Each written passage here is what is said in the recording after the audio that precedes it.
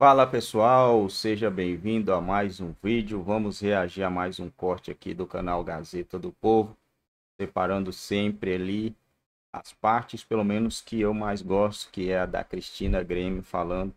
Gosto dos outros também, mas para mim ela destrincha melhor a, as notícias, né? E você que curte também, se ainda não deixou o like, já clica no like, você vai estar ajudando esse vídeo chegar a mais pessoas. Se não for inscrito aqui no nosso canal, botão aí abaixo também inscrito, inscreva-se, ajuda o nosso canal a crescer também. E vamos assistir esse vídeo, vale a pena ver até o final. Vamos assistir junto aqui. Serrão, Marco, boa tarde para nossa audiência. Eles tentam, mas a gente descobre as artimanhas e vem aqui escancarar a hipocrisia dessa gente. Rodrigo Pacheco quer deixar uma marca registrada, né? Não precisa se preocupar, queridíssimo presidente do Senado.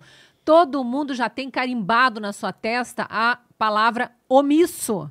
Omisso. Mas ela tem um, ela tem um sobrenome conivente omisso e conivente com a ditadura da toga que se implantou no, no, Brasil. Se nós estamos vivendo esse estado de exceção no Brasil, se nós estamos vendo milhares de presos políticos, outras centenas de pessoas que se exilaram no exterior, pediram asilo, como a ex-juíza Ludmila Lins Grilo, juíza aposentada compulsoriamente por perseguição do CNJ, porque né, criticava o sistema Todas essas pessoas exiladas, perseguidas políticas, presos políticos, todos apenas por criticar o sistema que o senhor defende. Então, não precisa se preocupar que já temos o carimbinho para colocar na sua testa. Omisso e conivente com a ditadura da toga, além de ser conivente com esse tirano que voltou ao poder, que é diferente de ganhar eleições, como bem dizia Zé Disseu, seu braço direito porque é isso que Lula está fazendo. Um projeto de vingança, arrotado aos quatro ventos, sem nenhum pudor, em entrevistas onde jornalistas militantes bajuladores dão risadinha, e é e palavrão, né? Porque é chulo, é tosco, além de desbocado, de, de mal educado. E aí falavam, né, do ex-presidente, né, a gente está vendo tudo acontecer agora, e os idiotizados batendo palma para isso. E Rodrigo Pacheco, o omisso mor, porque é o presidente da casa que deveria ser a fiscalizadora dos outros poderes quando os representantes, os ocupantes dos cargos nos outros poderes não cumprem o que a própria Constituição manda. Então não adianta querer ficar conhecidinho como quem aprovou um novo Código Civil que nem era necessário. O Brasil não precisa. O Brasil viveu mais de 100 anos com o Código Civil do início do século XX e aprovou no início do século XXI um novo Código Civil pare de pataquada, vai trabalhar de verdade, porque tem muita coisa para fazer nesse Senado. E aí a gente de, olho, obviamente, denunciando aqui o belíssimo editorial da Gazeta do Povo, recomendo demais aos nossos assinantes procurarem depois. Eu vou ler um parágrafo aqui só para dar uma noção de como o grupo Gazeta do Povo pega pesado com quem tenta ludibriar a sociedade por baixo do pano passar um código inteiro de leis para deformar a sociedade. Abre aspas aqui para o editorial da Gazeta. Uma veloz locomotiva governada por um Lula em terceiro mandato segue orientada a revolucionar e destruir os alicerces mais importantes para a família brasileira. À frente da locomotiva, diferentes companheiros no executivo, legislativo e judiciário priorizam a bandeira do aborto. A máquina mortífera tem pressa fecha aspas, mas segue com uma argumentação aqui brilhante em defesa da vida e contra essa hipocrisia que está embutida aí de dizer que vida humana no ventre da mãe é potencial de vida, né, Rodriguinho Pacheco? Será que você era um potencialzinho na barriguinha da sua mãezinha? Ou não era uma vida humana já? Porque se ela tivesse sido abortista, como você e todos que você defende, e todos que você bajula, e todos que você acoberta, você não estaria aí. Talvez o Brasil estivesse respirando ares melhores, ares de democracia, de fato. Não que eu desejasse que a sua vida não viesse à luz. Muito bem, parabéns para a mamãe que deixou que você nascesse, que você crescesse, que você virasse um ser humano, muito provavelmente acreditando que seria um exemplo para a sociedade. Espero que ela não esteja tão decepcionada quanto nós.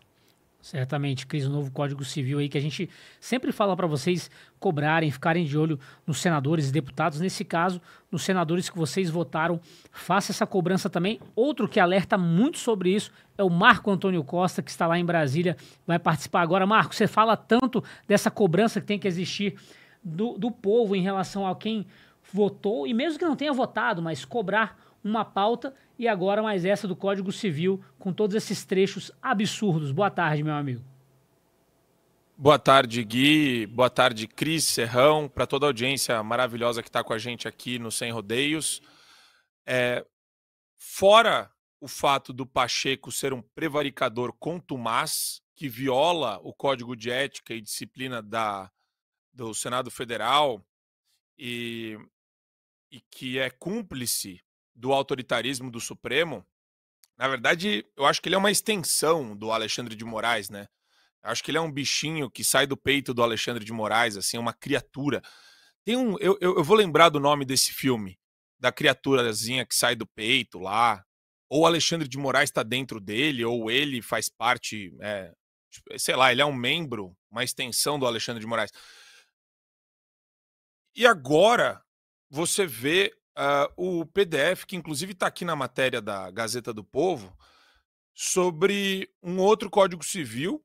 A gente teve um de 1916, o de 2002, do Miguel Reale, o pai, não o filho. E agora a gente tem, era Clóvis Bevilacqua em 16, Miguel Reale agora, é o, grande né, mentor aí, do ponto de vista intelectual, doutrinário.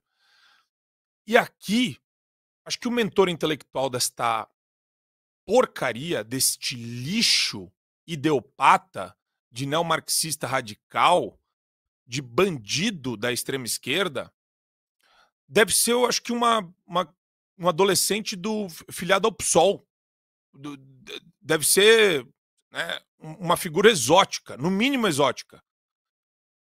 É, quer dizer, tudo, tudo que envolve identitarismo está presente aqui tudo que envolve subversão total da família está previsto aqui. Então é um novo Código Civil para gerar insegurança social, para gerar medo nas pessoas, medo no medo na mãe, para jogar pais e mães contra filhos, para capturar filhos que já estão, né, completamente consumidos pela ideologia de gênero hoje, que até aparece em desenho do Netflix, o cavalinho trans, sei lá que diabos é isso. E agora é o seguinte: papai, quero tomar hormônio. A menina fala para o pai que quer tomar hormônio para virar menino, porque na cabeça dela isso funciona. E daí o pai não tem mais controle sobre a situação. Pior, tá? Pior. Tá cheio de pai abusador e mãe abusadora, psicopata, de esquerda, que vai fazer isso com um filho indefeso. Filho de dois anos, filho de três anos, filho de quatro anos. E ele vai justificar agora no Código Civil do Pacheco. Então, aí agora é uma, é uma incógnita, né? Porque eu achava que o Pacheco só tinha ali laços de o quê? Suspeita de balcão de negócios, negócios escusos com o Supremo, é, com outros senadores, às, às vezes um dossiê estranho que tem dele ali de Minas Gerais, alguma coisa ruim que é usada contra ele. Mas aqui não. Aqui ele prova que ele é o quê? Membro da, do, do, do stalinismo aqui, uma, uma espécie de movimento neo-stalinista com requintes de crueldade identitária. Porra. O Brasil está sendo destruído. Vocês estão percebendo isso não? Esse pessoal está destruindo o país. Destruindo a família, esgarçando o tecido social. E eles não param. Eles não querem parar. Isso daqui Acho que você não vai encontrar uma porcaria dessa nem numa ata de reunião do PSOL. Esse é o nível que a esquerda e a extrema esquerda puxaram a ponto de você ter um cara de um centrão fisiológico. Tudo bem que a galera do centrão fisiológico é tudo um bando de desalmado. É tudo um bando de desalmado, né? Mas você vê que eles foram capturados. Aí a única dúvida que fica para mim é o seguinte, e agora eu vou aproveitar e dar aquela batidinha que eu gosto de bater sempre. Frente Parlamentar do Agro. Vocês vão ficar presos na pauta do que? Da sua terra, do MST. A gente bate no MST aqui, a gente chama o MST pelo que eles são. Grupo terrorista, em solo brasileiro, em solo nacional. Mas a gente não sente o apoio de vocês na hora de denunciar identitarismo, na hora de denunciar o ataque à família, na hora de pressionar o Pacheco, que está querendo, sei, quer explodir o país com uma porcaria dessa, quer acabar com o Brasil. Uma pessoa dessa quer acabar com o Brasil. O Estado entra no meio da família completamente. Isso daqui não é um código civil, isso daqui é um código soviético. E vocês vão ficar o quê? Parados em pautas únicas e exclusivas do interesse patrimonial uh, de quem vocês representam?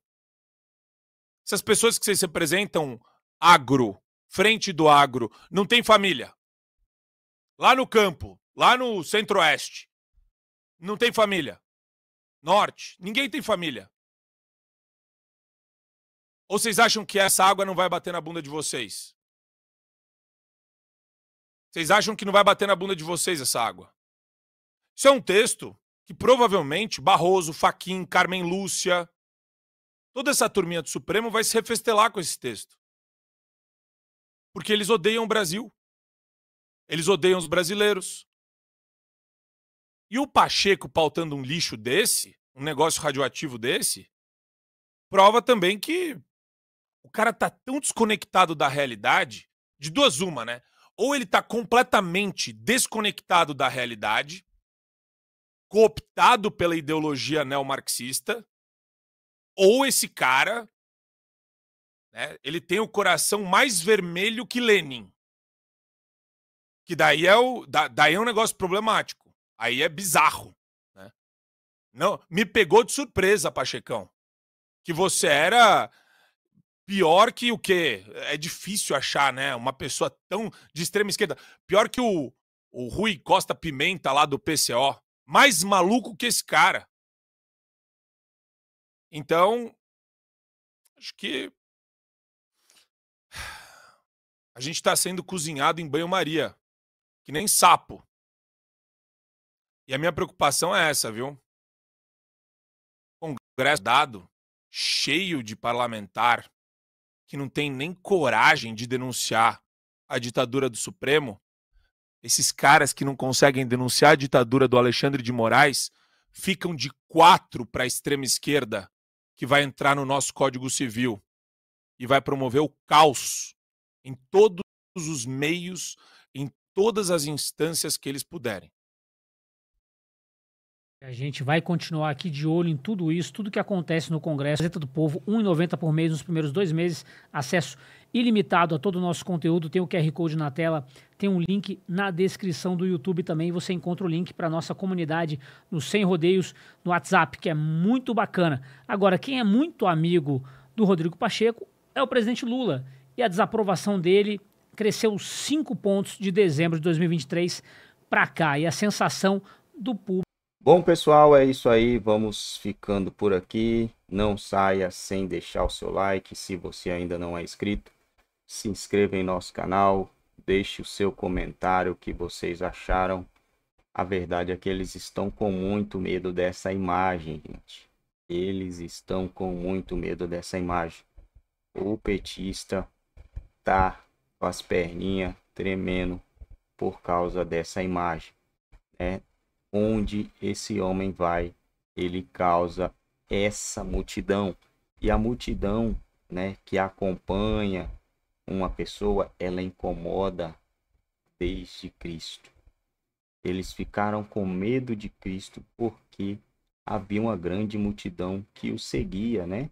E isso acabou deixando o povo daquela época, os fariseus da época, espantado. Ó, daqui a pouco a gente não vai mais ter é, o povo com a gente, né? Eles não vai, eles vão querer nos pegar por aí e nos esganar, porque esse homem aí transformando, vem transformando a mente dessas pessoas, vem pregando algo que a gente não conhece, que não é aquilo que a gente está ensinando. Então, vamos o que?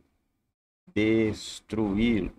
É isso que estão querendo fazer com o atual presidente. Não tem comparação, tá, gente? Não estou comparando ele a Cristo, longe disso, longe disso, mas se você é uma pessoa que consegue de alguma forma arrastar uma multidão, que essa multidão possa afetar diretamente o sistema político, é sempre contra um sistema político né, que vem sugando ali a sociedade. Se você fizer isso, você vai causar um grande problema para eles e eles vão tentar alguma maneira de te parar, de te barrar para que você pare com as suas é, atitudes de mudar a mente das pessoas, de trazer a verdade às pessoas. Eles não querem que as pessoas descubram a verdade. Eles não querem ver as pessoas prosperando, porque se as pessoas começarem a prosperar, afetará eles diretamente, né? Como que eles vão estar tá vendo pessoas prosperando, crescendo mentalmente, vão olhar para eles lá em cima e falar, não, esses caras tá errado eles ali. Mas por que, que eles pegam tanto dinheiro? O que, que eles estão fazendo com tanto dinheiro? O povo é burro, gente. Na moral mesmo, o povo é burro. Não sabe o que, que é feito com o dinheiro, não sabe de nada. Né? Tanto que ovaciona um cara porque eles compraram a casa com o suor dele, com o dinheiro deles, no, no governo do cara, sendo que aquela época era um boom. Era um boom que estava tendo no mundo. Não foi culpa deles. Não é porque é por causa dele que você que muita gente comprou minha casa, minha vida financiou um carro que o banco teve que tomar de volta porque não conseguiu pagar, né? Então, não é, não foi por causa dele, mas os bobó cheira cheira acha que foi e acaba é, morrendo de amores pelo barbudinho.